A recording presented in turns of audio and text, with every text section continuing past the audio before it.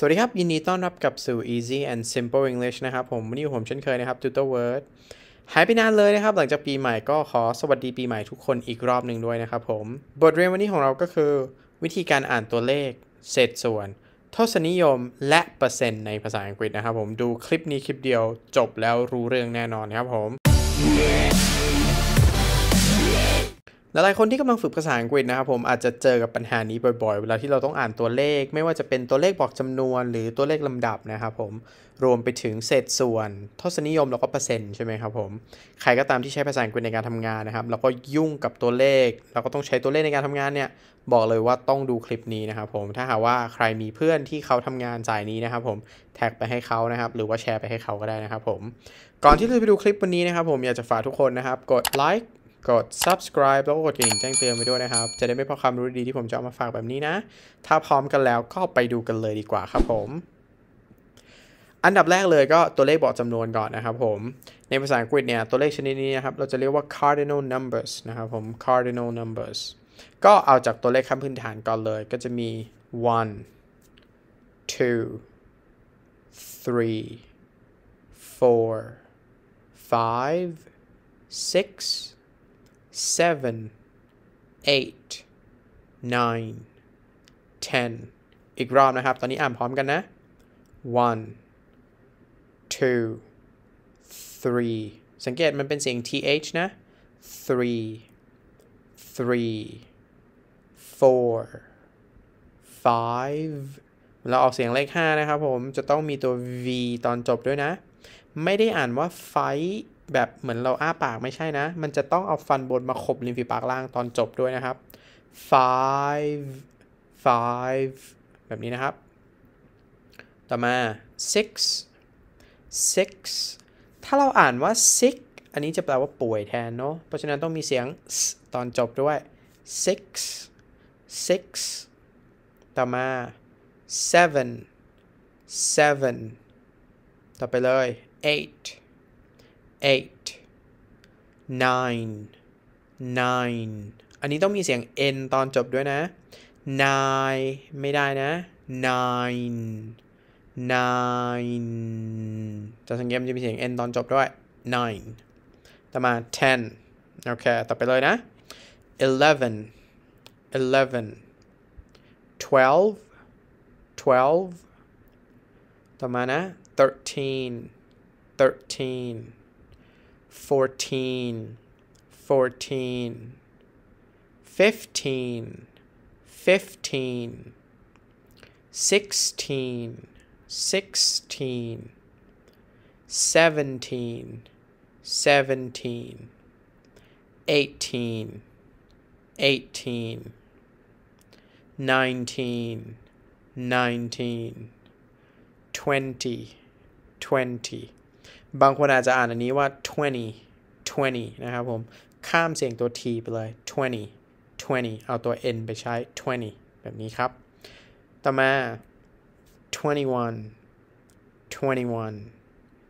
twenty two twenty two ใช่ไหม twenty twenty มันจะง่ายกว่านะ twenty three 23 อันนี้ก็เพิ่มไปเรื่อยๆนะครับ จากตัวเลขที่เราดูไปเมื่อกี้ใช่ไหม24 ก็ 24 25 25 แบบนี้นะครับ 30มั่ง30 30 ก็เหมือนเดิม 30 เป็นตัว t ก็เปลี่ยนเป็นเหมือนดอเด็กไป 30 40 นะครับ 40 40 นะครับผม ก็เหมือนเดิม ตัว t ก็ 40 เป็นเหมือนสียงตัว d ได้นะ 40 40 บางคนอ่าน forty ก็ไม่ไม่ผิดนะครับ ใช้ได้นะ ต่อไป fifty 50 อันนี้ไม่ใช่เป็น 50 นะ อันนี้แปลกๆนะ ถ้า 50 50 50 ต่อไป 60 60 60 70 นะ 70 70 บางคนอาจจะอ่าน 70 70 นะครับผม 80 80 90 90 ประมาณนี้ ตัวเลขหลักร้อยบ้างครับผม 100 100 อันนี้คือ 100 ถ้าเป็น 1,000 ก็คือ 1000 1000 นะครับผม ตอนนี้เลยหลักพันเป็นต้นไปนะครับ อันนี้จะเริ่มยากแล้ว ผมมีเทคนิคง่ายๆมาฝากครับผม ให้เราดูตรงเลข 1000 ดีๆ ครับผม มันจะมีลูกน้ำอยู่ใช่ไหม เราจะเอาลูกน้ำเนี่ยครับ เป็นตัวช่วยของเรานะครับ หลังจากนี้ทุกครั้งที่เราเจอลูกน้ำหนึ่งตัวแบบนี้นะครับผมให้เราพูดคำว่า thousand ออกมา เราลูกน้ำเป็นส่วนแบ่งนะครับ อย่างเช่นถ้าไปดูเลขเลขหมื่นเนี่ยมันจะเห็นเป็น 10 แล้วก็มีลูกน้ำแล้วก็มีศูนย์3ตัวใช่ไหมครับผมอะเราก็ใช้ตรงนี้เป็นเกณฑ์เลยครับผม 10 ก็คือ 10 ใช่ไหมเมื่อกี้เราเรียนไป 10 เจอลูกน้ำให้พูดคำว่า thousand ก็จะอ่านอันนี้ว่า10,000 10,000 แบบนี้เนาะ10 แล้วก็ลูกน้ำตรงนี้ก็เลยเป็น 10,000 ต่อมาเป็นหลักแสนบ้าง เหมือนเดิมเลยสังเกตว่าเวลาเราเห็น1แสนเนี่ยมันจะเป็น 100 ใช่ไหมครับผม 100 คือ 100 แล้วก็เจอลูกน้ำใช่ไหมก็จะอ่านเป็น 100 เมื่อกี้เราเพิ่งเรียนไป 100 100 พอเราเจอลูกน้ำให้เราขานคำว่า thousand ออกมาใช่ไหมก็จะกลายเป็น 100,000 100,000 แบบนี้นะครับผม ต่อมาเป็น 1 ล้านก็ลูกน้ำ2ตัวนี้ก็ 1 million ครับผม โอเคเนาะ คิดว่าทุกคนน่าจะทำกันได้นะ ไปลองดูตัวอย่างตัวเลขที่มันซับซ้อนกว่านี้สักหน่อยละกันนะ อย่างเช่นอันแรกเลยครับผม 125 นะครับผม 100 ก็คือ 100 ใช่ไหม25 ก็คือ 25 เราอ่านก็อ่านเป็น 125 ตอนนี้เพิ่มเติมให้นะครับ ทุกครั้งที่เราพูดคำว่า100ให้เราเพิ่มคำว่า and เข้ามาครับผม เพราะฉะนั้น 125 ก็จะอ่านง่ายๆว่า 125 125 แบบนี้ ไปลองดูตัวเลขอันบายครับผม 78,643 อะ ไม่ต้องคิดเยอะ ไม่ต้องคิดเยอะ ใช้หลักการเมื่อกี้ที่เราดูไปครับผม เราบอกว่าถ้าเราเจอลูกน้ำ เราต้องพูดคำว่า thousand ออกมาใช่ไหม ตอนนี้ก็แบ่งตัวเลขครับผมเป็น 2 ฝั่งก่อน ฝั่งซ้ายมือเนี่ยมันคือ 78 ก็คือ 78 ใช่ไหมครับผม 78 ภาษาอังกฤษก็ใช้คำว่าอะไรเอ่ย 70 คือ 70 ใช่ไหมหลังจากนั้น 8 ก็ 8 78 หลังจากนั้นเจอลูกน้ำให้พูดคำว่า thousand ก็จะกลายเป็น 78,000 หลังจากนั้นเรามาดู 3 ตัวหลังคือ 643 600 ภาษาอังกฤษว่าไงเอ่ย 600อะพอเราพูด 100 อย่าลืมแอนนะ 643 ใช่ไหม643 643 ตอนนี้เราเอาทั้งสองอันมารวมกันครับ ส่วนหน้าคือ 78 เจอลูกน้ำพูด thousand 78,643 อะ ก็จะกลายเป็นแบบนี้ 78,643 แบบนี้ได้ ต่อมานะครับผม 916,439 บ้างครับผม อ่านี้ มาลองดูซิว่าจะได้กันไหมนะ เหมือนเดิมเลยไม่ต้องคิดเยอะครับผม ให้เราแบ่งส่วนก่อนใช่ไหม ส่วนแรกส่วนที่ 1 คือ 916 ใช่ไหมครับแล้วก็เจอลูกน้ำใช่ไหม916 พูดยังไงดี 900 ใช่ไหม900 คือ 900 เจอ 100 แล้วให้พูด and ต่อเลย 900 and 16 ก็คือ 16 เจอลูกน้ำให้พูด thousand 916,000หลังจากนั้นส่วนถัดมา 439 ก็เป็น 400 พูด 100 แล้วก็ตามด้วย and 439 รวมกันนะ 439 แบบนี้ครับผม พอได้อยู่นะ ต่อมาครับผมอันข้างล่าง โอ้โห นี้เป็น 2 ล้าน2ล้าน3แสน45,678 นะครับผม โอเคเหมือนเดิมกลับไปด้านล่างเมื่อกี้ ตอนนี้เราไม่ได้มีลูกน้ำแค่เพียงตัวเดียว แต่เรามี 2 ตัว ถ้าเราเจอลูกน้ำสองตัวให้เราขานอะไรเอ่ย million ก่อน 2 ก็ง่ายๆ two เจอลูกน้ำสองตัวแบบนี้ก็พูด million two million หลังจากนั้นก็ใช้สูตรเดิมครับผม ก็ตัด 2 ข้างหน้าออกไปก่อนใช่ไหมตอนนี้เราเจอ 345 เราก็เจอลูกน้ำตัวเดียวละ ก็พูด thousand หลังจากนั้นใช่ไหมก็กลายเป็น 345,000 678 ก็เป็น 678 รวมกันนะก็จะเป็น two million three hundred and forty five thousand six hundred and seventy eight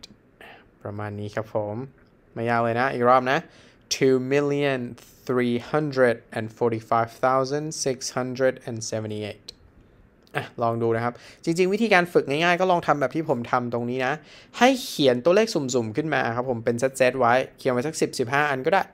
แล้วหลังจากนั้นนะครับก็ลองค่อยๆทำทีละส่วนทีละอันแบบนี้นะ อย่าลืมว่าหลักการของเราก็คือเอาลูกน้ำเป็นตัวช่วยนะครับ แบ่ง พอเราเจอลูกน้ำแล้วลองแบ่งตัวหน้าตัวหลังของพวกมันดูนะครับ มันจะช่วยทำให้เราเข้าใจได้ง่ายมากขึ้นนะครับผมบังเอิญว่าภาษาอังกฤษเนี่ยมันไม่มีหลักหมื่นหลักแสนที่เป็นคำเฉพาะเหมือนภาษาไทยที่หมื่นแล้วก็แสนไปเลยใช่ไหมภาษาอังกฤษมันไม่มีมันก็เลยเอาหลักพันนั่นแหละไปทำเป็น 10 พันแล้วก็ร้อยพันอะไรประมาณนี้นั่นเองเนาะนะคิดง่ายๆก็ประมาณนี้ได้ครับผม ถ้าว่าใครเข้าใจแล้วก็ดูต่อได้เลยนะครับ ถ้าไม่เข้าใจลองย้อนกลับไปดูนิดนึงนะครับผม ต่อมาครับผม อันนี้เป็น ordinal numbers นะครับผม หรือเลขบอกลำดับนั่นเองนะครับผม อันนี้ก็ มีหลักการง่ายๆ อย่างหนึ่งก็คือจำแค่บางตัวครับ ส่วนที่เหลือนี้ก็มีหลักการส่วนหนึ่งที่ช่วยได้อยู่นะครับผม อะ อันแรกเลย เลขบอกลำดับนะครับผมไว้บ่งบอกถึงลำดับที่ของมันครับ นึกถึงภาษาไทยที่เป็นคำว่าที่ไว้ วันที่หนึ่งซอยที่หนึ่งบ้านหลังที่หนึ่งชั้นที่หนึ่งอะไรแบบนี้ครับพวกเลขลำดับตรงนี้ภาษาอังกฤษเนี่ยมันไม่ได้เกิดจากการแค่เพิ่มคำคำว่าที่เข้าไป แต่มันเกิดจากการเปลี่ยนแปลงคำไปเลยครับผม โอเคไหมอย่างเช่น1เนี่ยปกติคือ one ใช่ไหมแต่ถ้าหากว่าเป็นลำดับที่ 1 เราจะใช้ first first นะครับผม สังเกตเวลาเราเขียนวันที่เนี่ย เราจะเขียน 1 แล้วก็ st ใช่ไหมครับผม เนื่องจากว่าคำว่า first มันลงท้ายด้วย st แบบนี้ครับผม มันก็เลยกลายเป็นวันที่ 1 แล้วก็ต้องเขียน st ต่อท้าย ต่อมาลำดับที่ 2 second second เหมือนเดิมเห็นไหม second เนี่ยมันลงท้ายด้วย nd ใช่ไหมเวลาเราเขียนตัวเลข เราก็ใส่ nd ต่อท้ายไปครับผม มันก็จะกลายเป็นลำดับที่ 2 second ต่อมา third third third อันนี้คือลำดับที่ 3 นะครับ ก็เหมือนเดิมเลย third ลงท้ายด้วย rd ใช่ไหม เวลาเราเขียนลำดับที่ 3 ก็ใส่เลข 3 แล้วก็ใส่ rd ต่อท้ายไปครับผม ใช้หลักการนี้ อะหนึ่งสองสามเนี่ยจะเป็นคำเฉพาะอันนี้ต้องจำครับผม ส่วนลำดับถัดๆไปหลังจากนี้ก็จะมีหลักการง่ายขึ้นก็คือเอา th ไปใส่ต่อท้ายครับผม อย่างเช่นลำดับที่ 4 4 คือ four ลำดับที่ 4 fourth ก็จะมีเสียง th เพิ่มขึ้นมา ก็จะสะกดด้วย th ต่อท้าย อันนี้คือสาเหตุว่าทำไมลำดับหลังจาก 1 2 3 เป็นต้นไปเนี่ย มันจะลงท้ายด้วย th นะเวลาเราเขียนตัวเลขก็ 4 แล้วก็ th เพราะว่าเวลาเราสะกดเนี่ย เราสะกดโดยการลงท้ายมันด้วย th นั่นเอง 5 อันนี้แตกต่างนิดนึงนะ มันไม่ได้เป็น fifth ใช่ไหมครับ แต่มันจะใช้เป็น fifth fifth จะมีเสียงต่อท้ายด้วยนะครับ ด้วยคำที่ติวเตอร์กำลังสอนติวเตอร์ก็เลยออกเสียงให้มันชัดแล้วก็เด่นมากๆนะครับ แน่นอนเวลาเราพูดในประโยคในบทสนทนา มันอาจจะไม่จำเป็นต้อง th ดังขนาดนี้นะครับ fifth fifth เบาๆเบาๆนั่นเองเนาะต่อมาลำดับที่ 6 sixth ลำดับที่ 7 seventh ลำดับที่ 8 eighth ลำดับที่ 9 ninth ลำดับที่ 10 tenth แบบนี้นะครับผม ลำดับถัดไปก็ใช้หลักการเดียวกันนะครับผม eleventh th twelfth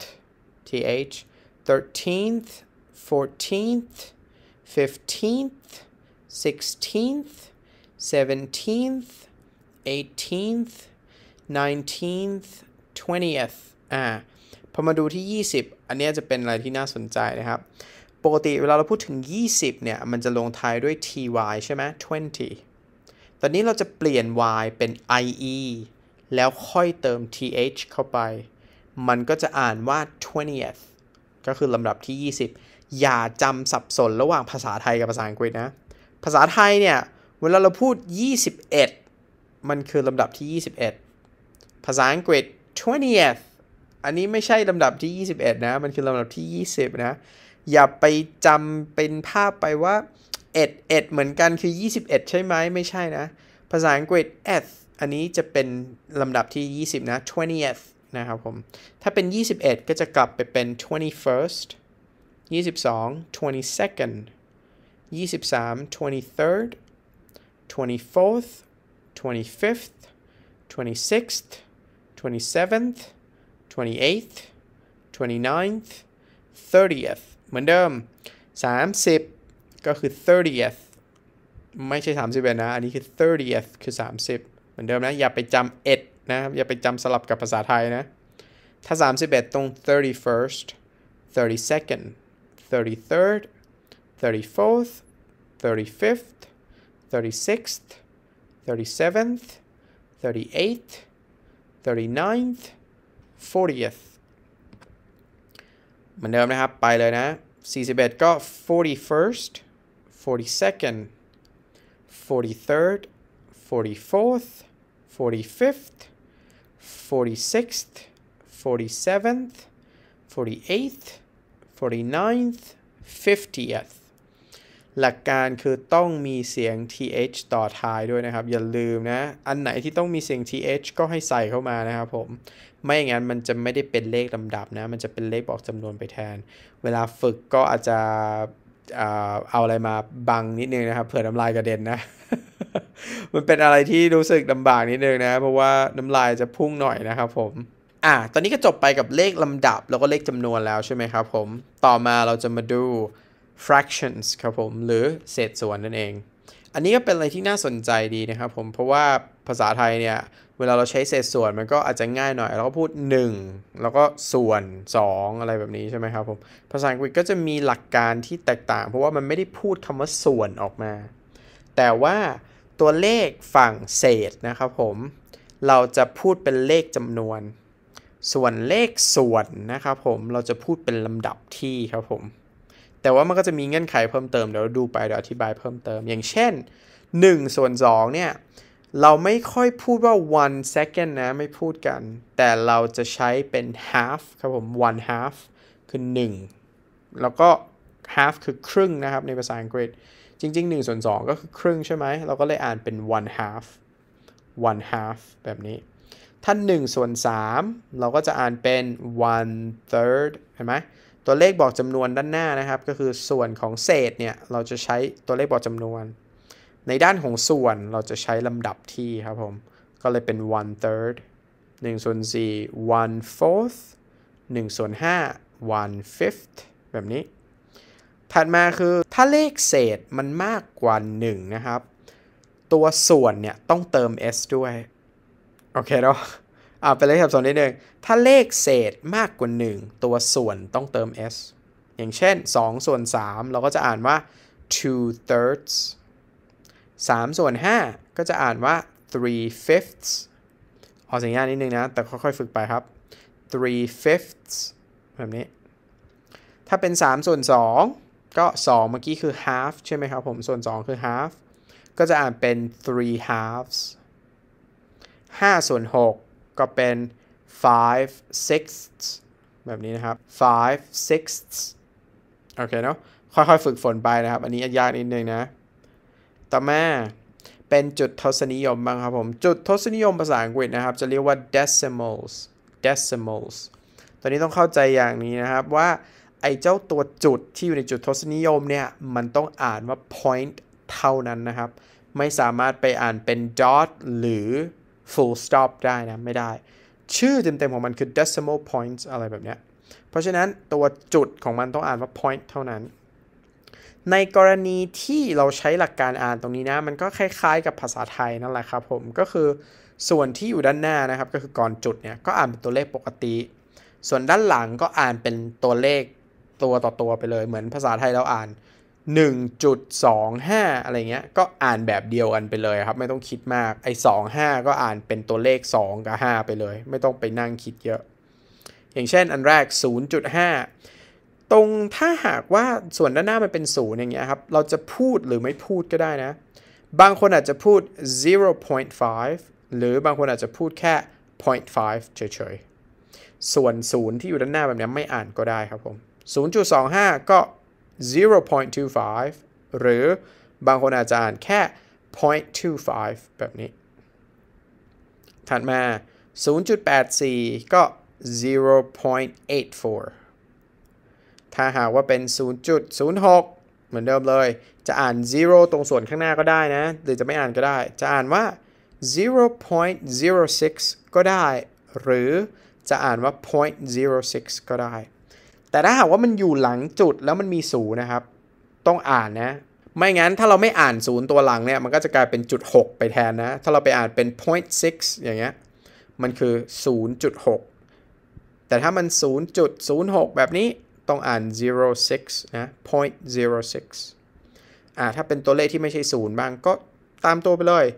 7.49 ใช่ไหม7.49 7.49 อ่า6.25 6.25อ่า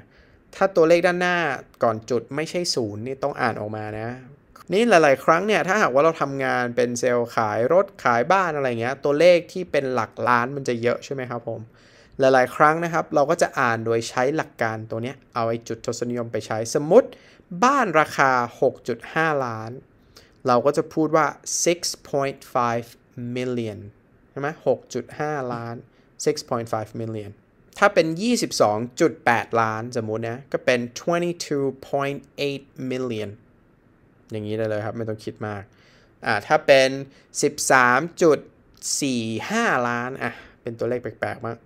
ก็จะอ่านว่า 13.45 million หลักการตรงนี้เลยง่ายๆครับผม ลองนำไปประยุกต์ใช้ดูครับหวังว่าจะเป็นประโยชน์นะตรงนี้นะ ไปต่อครับหวังว่าทุกคนจะเข้าใจนะ ถ้าเข้าใจแล้วก็ไปต่อได้เลย เป็น percentage บ้างครับผมก็คือเปอร์เซ็นต์นั่นเอง อันนี้ก็ไม่ยากครับผม พูดตัวเลขแล้วก็ตามด้วยคำว่า percent เฉยๆ อย่างเช่น 5%ก็ 5% 25%ก็ 25% 30.65 ก็ใช้หลักการที่เมื่อกี้เราเรียนกันไปใช่ไหมแล้วก็เติมเปอร์เซ็นต์ตามไปครับ ก็เป็น 30 30 คือ 30 point ใช่ไหมจุดคือ point 65 อันนี้ก็ 65 30.65% 200%ก็